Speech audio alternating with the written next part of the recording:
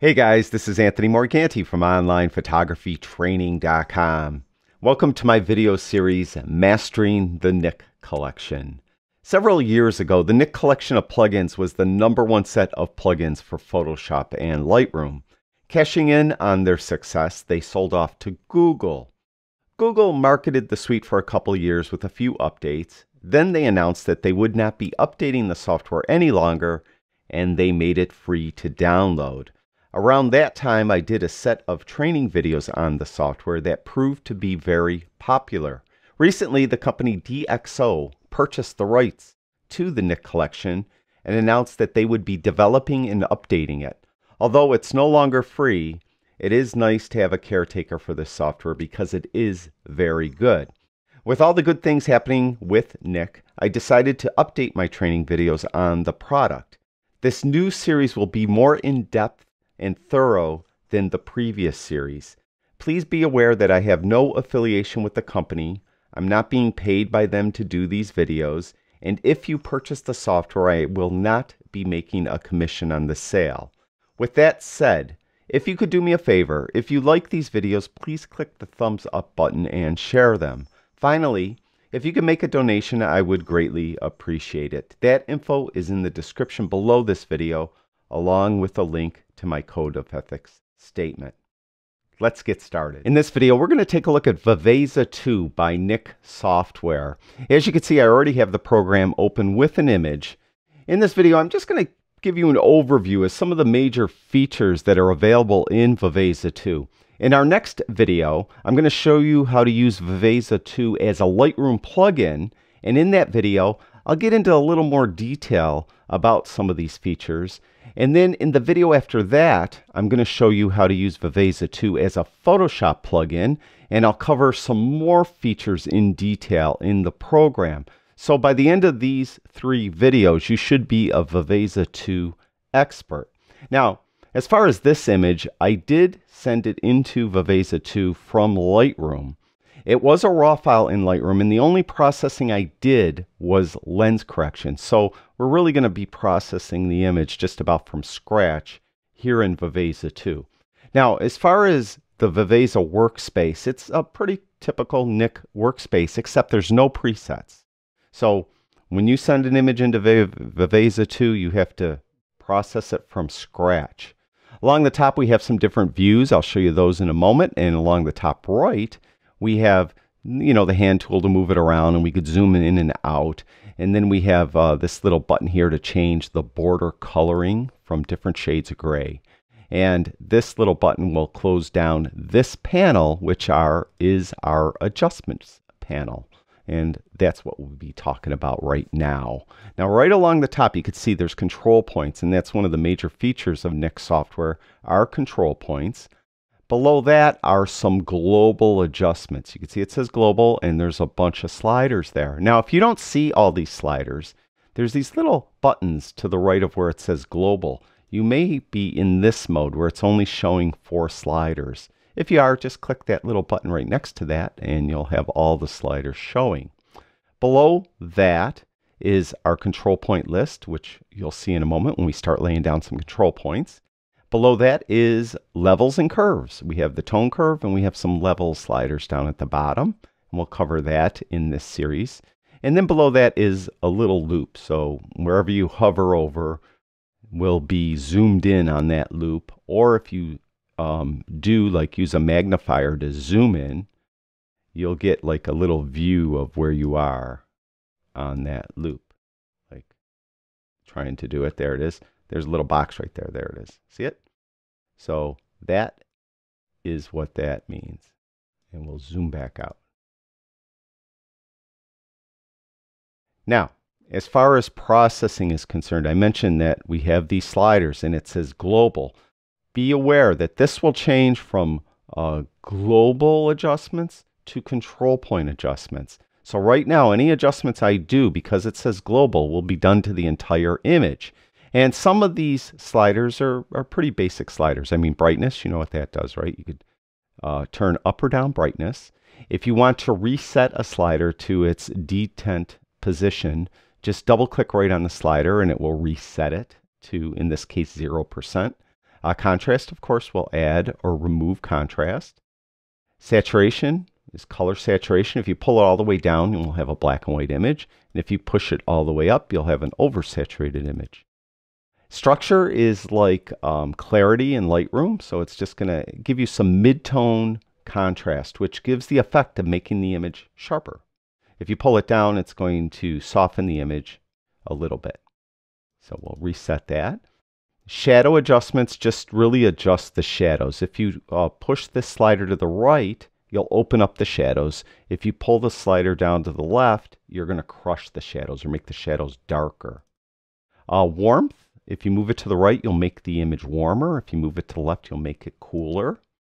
Now we have some colors, red, green, and blue. Well, if you move red, let's say, to the right, you're going to tinge the picture red. See how we're adding red to the image. Now, when you move it to the left, you could say that you're taking red out of the picture, but really what's more accurate is you're going to be adding cyan to the picture. The way these color sliders work, the red, green, and blue color sliders, when you move them to the left, you're going to add the subtractive complementary color to that slider's color, meaning the subtractive complementary color of red is cyan. So when I move this to the left, we're going to add cyan to the image, or we're going to tinge the image cyan. The subtractive complementary color of green is magenta. So if I move this to the left, we'll start adding magenta to the image. And for blue, the subtractive complementary color is yellow. So when I move this to the left, we're going to add yellow to the image. Now, an easy way to remember that, you think of red, green, blue, you think of RGB. When you think of the subtractive complementary colors, you might have heard of CMY. That goes in order red, green, blue, CMY. Cyan for red, magenta for green, yellow for blue. So that's a way you could remember it. Of course, you could just come in and slide the slider and go, oh, that's yellow. of course. Hue, uh, you could actually kind of alter the hue of all the colors by moving this around. It will give you some odd effects uh, since it's just one single slider. You could reset them all, of course, with that reset button. And we're going to talk about this dropper in a moment. That comes into effect when we're using actual control points. Now, as far as levels and curves, I'm just going to give you a quick overview. Quite often with uh, curves, which is what this diagonal line is, we like to use it to add contrast to the image. And what the curve represents, or what the diagonal line represents, is basically all the darkest tones are in this lower left-hand side. So blacks are down here, and as you start moving towards the right-hand corner of this box, we're going from blacks to shadows to darker midtones to lighter midtones to highlights to whites. And if you want to make, let's say, the midtones brighter, you would put a point on the midtone and push it up, and it will make midtones brighter. If you want to make midtones darker, take that same point and pull it down. So you're going to um, alter the tones in a specific part of that curve. So typically we use, or often we use a tone curve to add contrast to an image. And the way really all contrast is, is the dark parts get a little darker and the light parts get a little lighter. So what we often do is put a point right in the middle to anchor it.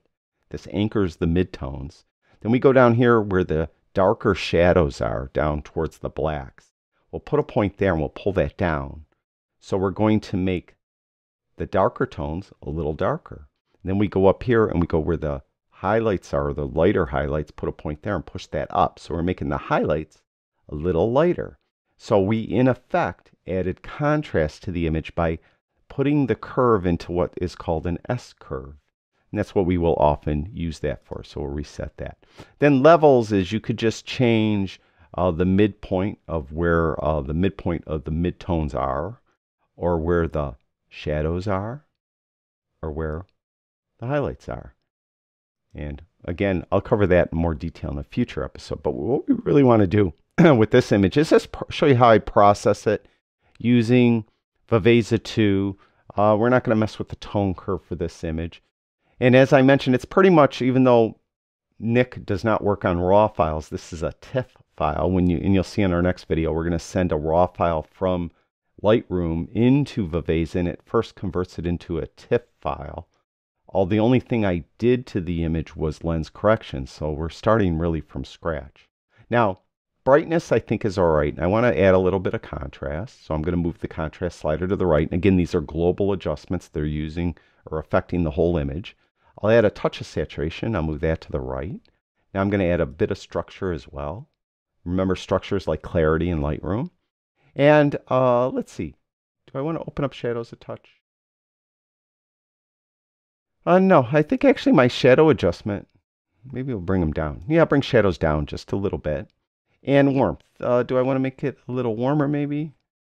Yeah, just maybe a touch warmer. Just a little bit. Now, I'm not going to do anything with uh, red, green, blue, or the hue. I'm going to work on that with control points, which we're going to do right now. So I want to add a control point to the sky. I want to make the blue sky bluer. Uh, because if I just came down here with the global adjustment and moved blue to the right, it will make the blue sky bluer, but it's kind of putting blue everywhere, and I don't want that. So, excuse me, put that back. We'll reset that. There we go. I'm going to get a control point. So I'm going to click right here, and I'm going to go up in the blue sky over here in the left-hand corner and click it. Now you'll see we have all these sliders. These sliders are the exact same sliders you have over here. So you see that BR is brightness, CO is contrast, SA is saturation, ST is structure, structure um, SH is shadows adjustment, and so on.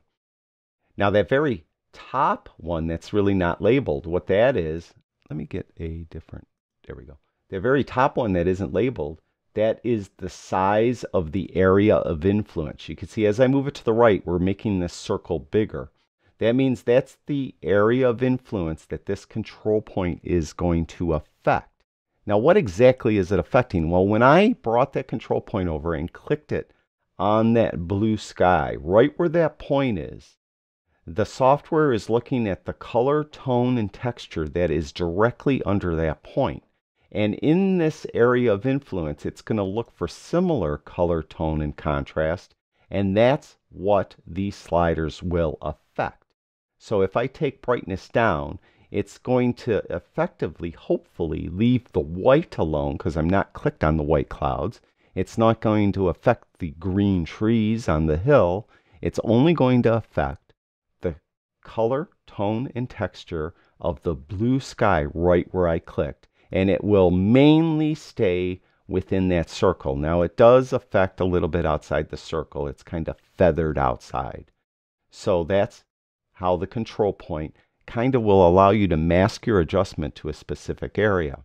Now, I kind of like that. I brought, as you might have noticed, I brought brightness down. Now, if we jump over here to the right and we look at this area now, it no longer says global. It says selective. This is actually this control point. So I could come in here and I could just adjust this and you could see how it's adjusting that control point. Not, it's not a global adjustment anymore. So I kind of like that, and I want to make it a bit bluer, so I'm going to go to blue, and I'm going to just tweak that up a little bit. Okay? So, I like that. I'm going to bring that just down a touch. Now, I want to affect the entire blue sky, so I want to put one over here, uh, right here maybe. So I could add just another one, click here and add another one, but I want to use the same settings, so why don't I just duplicate this one? The easiest way to do that is hold the Alt or Option key. Alt if you have a PC, Option if you have Mac, then just click on that little button and drag one off. And you're going to drag a whole new one off. And you can put it over there. So now we have these two. And now I could adjust the size of this one independently of that one. And I could adjust all these settings alone. Now maybe I want to adjust them together. And as it is now, this one's selected, so I'm only adjusting that one. If I go over here on the right panel, I'll only be adjusting that one. So I'd like to adjust them together. There's three different ways to do that. One way is to just go outside of one of them and then click with your left mouse button and you see I'm drawing kind of a rectangle around the two of them. And once I do that and let go, you'll see they're both active. Now, any adjustment I do to one goes to the other one as well. Now you see how I'm moving the contrast slider, and it's moving the contrast slider on the left one as well. Also, if I go over here to the selective adjustment area here, this contrast slider moves both of them as well. So that is one way you could um, uh, put them together more or less and adjust more than one control point. Now, another way is you could click on one, hold the shift key in and click on the other one. And if I had like five of these, I would just keep holding the shift key in and keep clicking on all of them. And now they're both selected again. And I could do it that way. Now, another way is you could go over here where we have our control points. And we have control point one is this one, and control point two is that one. And I could just select them there by clicking on one. And because I have a Mac, I would hold the Command key. And if you have a PC, you'd hold the Control key in and click on that second one. Now they're both selected, and you could do it that way. Now, if you have a bunch of control points that are doing the same thing, it may be beneficial to you to put them in a group. Because if we start adding lots of control points to an image, it gets confusing in the control point list. So what we could do is have them both selected like they are now and go right here where it says group and just click there and you can see that we now have group 1.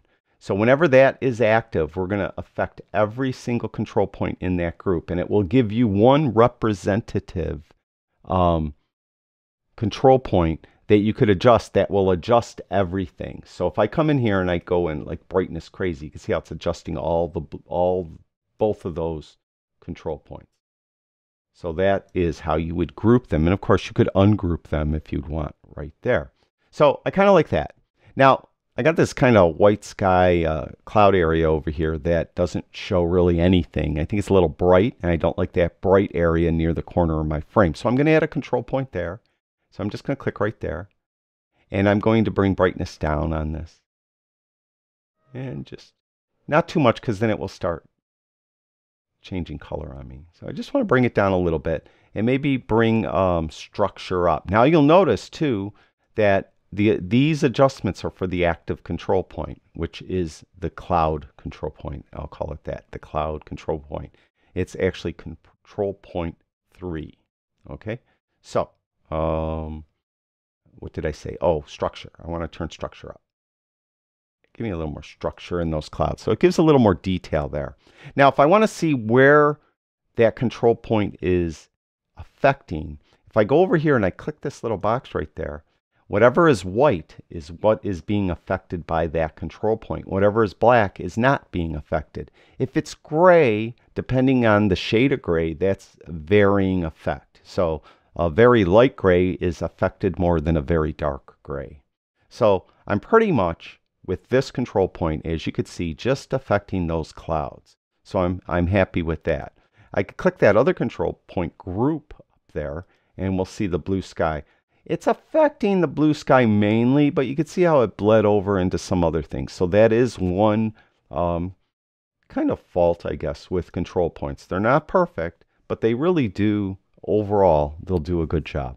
Now, I want to do something with these grasses. I want to, what I often like to do to add some um, kind of tonal depth, I mess with the colors uh, intensity a little bit, or the luminance values of the color. Meaning, especially with grass, I like to make the yellows that are in the grass a little brighter and the greens a little darker. And you could do that here. I'm going to get a control point. I'm going to go right on something that's kind of more yellow, like right there. All right. So now this, the I could do these sliders right here, but I like going up over here. I just think it's easier to see what I'm doing. And um, I'm going to take saturation and I'm going to pull that up. Now, I hopefully I'm on yellow, and I could check that in a moment. Um, take brightness up a little bit. And I could click on that control point and hopefully it's mainly getting yellow. Now while that is on this kind of negative view, I could kind of move it around and, and see if I could better. There, that's better, isn't it? I'm more on those yellow uh, tips of those grasses. So I think that's better. Uh, the grass in the background, that cut lawn, that was more yellow than it was green. So that's that's pretty cool. I kind of like that. So we'll turn that off. So I kind of made that yellow. I could come in here. Maybe make it even a little brighter. Now, I mentioned that we have this eyedropper and color swatch thing here. What you could do with the eyedropper is you could, whatever that control point is on, you could make it a color you want. How you do that? Well, with the eyedropper, click on the eyedropper, and let's say I want to make whatever that control point is controlling blue. So I'll go up here in the blue sky and click on the blue sky.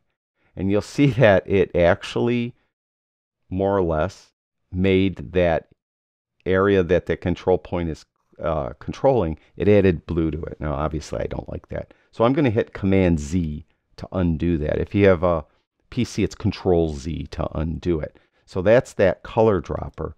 Uh, the other thing you do is you click right on the color swatch. And this, uh, what will pop up here is dependent on your operating system. If you use a Mac, you'll get this color picker where you could switch around and you could actually just kind of pick a color like I want it to be purple. Like that. And just like that. Close that down. There. Now it's purple. I don't like that of course. So I'm gonna command Z out of that. Hopefully. Okay it wouldn't let me command Z out of that one for some reason to undo it. There we go. That's better but we kind of lost our adjustment. So I'm going to come back in here and I'm going to turn brightness up I'm going to make sure that uh, this is over a yellow. Bear with me. That's pretty good. There. And so that's good. Let's just say for the sake of this demonstration that that's good. So I added a little um, depth tonally by taking the yellows of the grasses and make those a little brighter yellow. Then what I'll often do is I'll make the greens, the things that are more green in the grass, a little darker. So I'll get another control point and I'll go somewhere like here, let's say. And again, I think I'll turn this on to look at that and make sure that I'm kind of more on green. Yeah, I think that's pretty good right there. So I'll turn that off. And then what I'm going to do here now is I'm going to pull brightness down. So I'm kind of making the greens a little darker and the yellows a little brighter. Now I got some yellows over here that I'd like to do that too. So I'm going to duplicate this control point by holding the Alt or Option key in. Alt if you have a PC option if you have Mac and drag this over here and make sure I'm just on those yellows. So I think that looks pretty good. And um, I think I like it. I think I like it. Now we'll do a before after. There's um, three different ways you could do that. If you click right here in the top left hand corner, we get the split screen. And you could come in here and you could go, there's before and there's after. Before after. So quite a dramatic difference. If I click right here, we'll get an over under view. See, there's um, before above it and after below it. And if I click this, we'll get a side by side with before on the left, after on the right. Or if I go back to this single image view where it says preview right here, if I click off this box, you can see there's before, there's after. Before, after. Now, I could group those green control points if I want, and I could group those yellow control points. That's what I'm calling them, the, the control points that, um, that control that yellow. So I could click on this one. I'd hold the shift key in and click on this one. And then I could get a group here and group those together. Then what I could do is I could click on this uh, green one here. That's all by itself. So I really don't need to put that in a group. But let's say I wanted to make another green control point for something, um, which I really don't. I kind of like the way it is. But if I did, I'd hold that Alt or Option key again in, in again, drag one up here. I'll make this small so it's only affecting those hills. I'll hold the Alt or Option key in again, drag over to this, this side, maybe hold it in again and drag it over here. So I have uh, four green control points, I'm calling those. So I could hold the shift key in and select them all like I just did. It's a little harder to draw that box like I showed you the first way you would kind of group two together because I got some of these yellow ones in here as well. And you might incorporate those accidentally into your selection. But what you could do is you could either hold the shift key in and click on each individual control point or hold the Command or Control key, and again, it's Command if you have a Mac, Control if you have a PC, and click on them over here in the uh, Control uh, point list. But I prefer actually this way because I know exactly which ones I'm doing. So I'll hold the Shift key in and click on that one, that one. I think that's all I had, right? So I have all those selected and I'll group those together. So those are the green group. So again, I could come now in and readjust my representative one of those four green control points is right here. So I could come in here and uh, adjust those accordingly with that one adjustment uh, right there or this over here where it says selective adjustments there. So that's kind of um, Viveza 2 in a nutshell. Uh, get you an idea what you could do with it.